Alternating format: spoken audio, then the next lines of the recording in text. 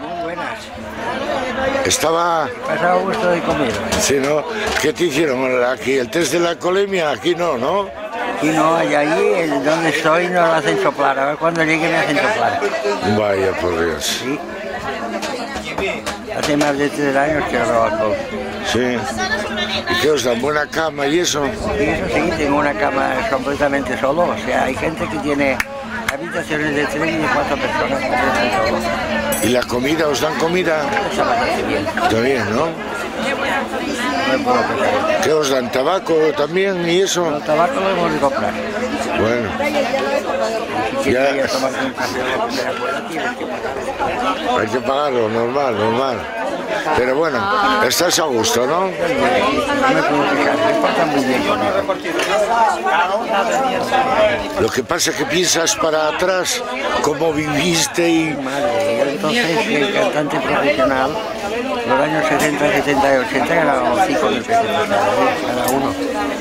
Era una fortuna, era mucho dinero.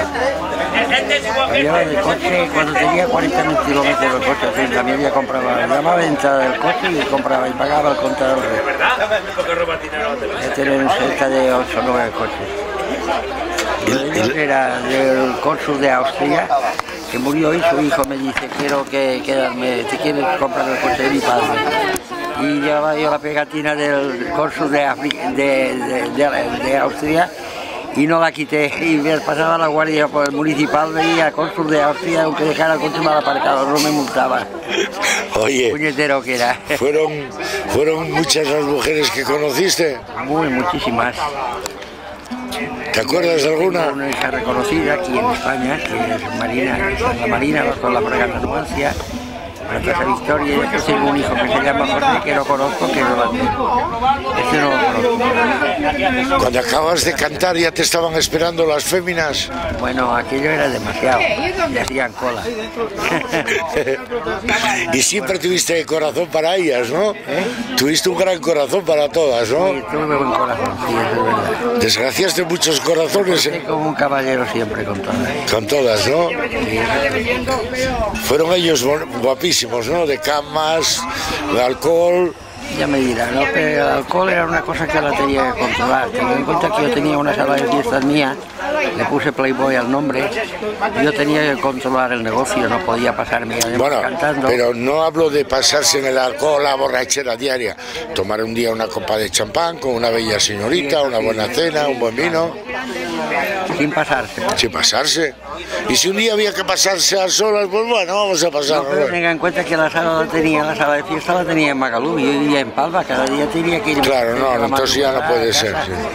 Tenía que conducir, tenía que ir con cuidado con el alcohol. Los dineros corrían a raudales, ¿no? Sí, más o menos sí. Ya le digo, co- cobrábamos 5.000 pesetas cada uno, por los dólares. Y después formé un grupo con Alegro Show Band Tanto Pico, que tengo un álbum grabado. Era un grupo de seis chavales que era fabuloso, llevaban metal y tengo un, álbum de vinilo y tengo, tengo en CD. Ahora tengo seis CDs diferentes de toda la clase de música que he grabado. Ahora lo mío era música romántica. Tengo grabado incluso el Black is Black, pero lo mío es música romántica. No te dejan ni nada de interés esa aquella música en copyright y todo aquello, ¿no? No, la vi- no era compuesta por ti, era cantada por ti, Bueno, ¿no? yo tengo una canción mía grabada que se llama You Cry, que es en inglés y es mía. El compositor soy yo. Música y letra. Porque esta música todo trae un copyright y hoy día hay que pagar por escucharla, por... pasa una cosa, después nosotros que cobrábamos en la calle San Jaime había los derechos de autores. Y cada mes Claro. yo pasaba me daban dinero.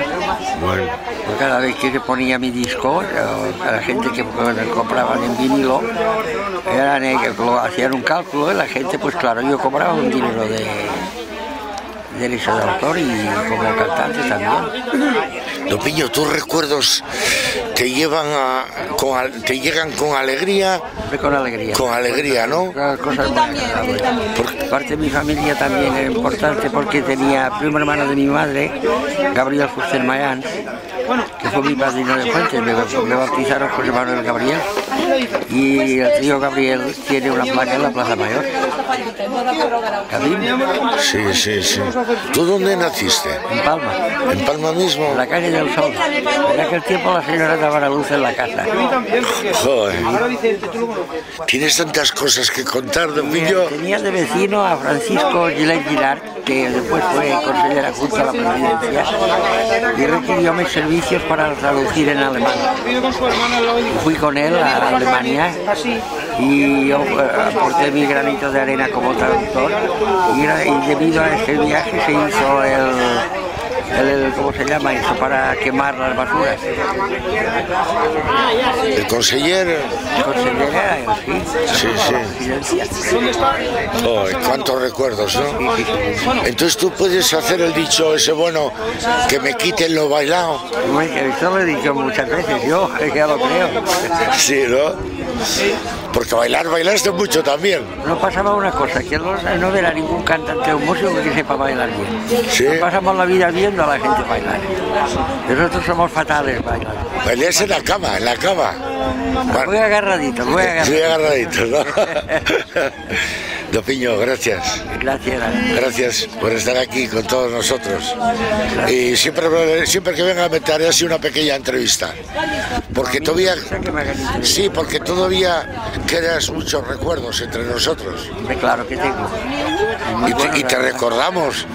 Y ahora al verte en vídeo, pues nos da también una gran alegría. Muchísimas gracias. Gracias a ti, Dopiño, gracias. Gracias. Es un placer, Dopiño.